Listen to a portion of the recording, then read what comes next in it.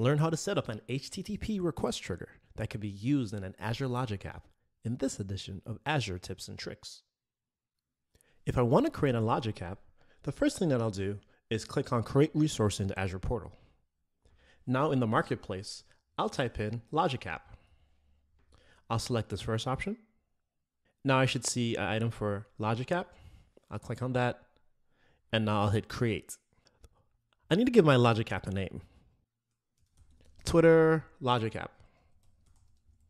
I'll select the resource group that I want to put this in. I'll put it inside of my Azure Tips and Tricks.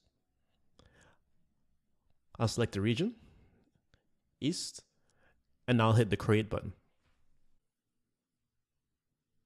Now that my resource is created, I'll click on this Go to Resource notification.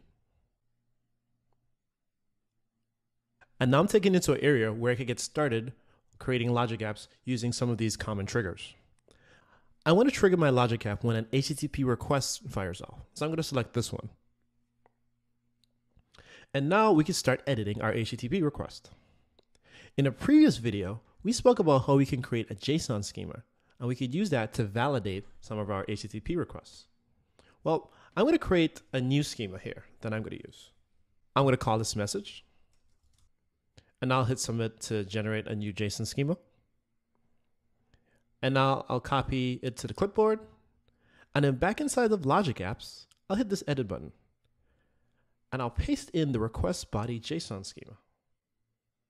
Whenever I send over an HTTP request, Logic Apps will use this schema to validate that the payload is as it should be. Now I can continue working with my Logic app by adding things like more actions and conditions. But that's how easy it is for you to set up an HTTP request trigger that's going to be able to start your Logic app workflow.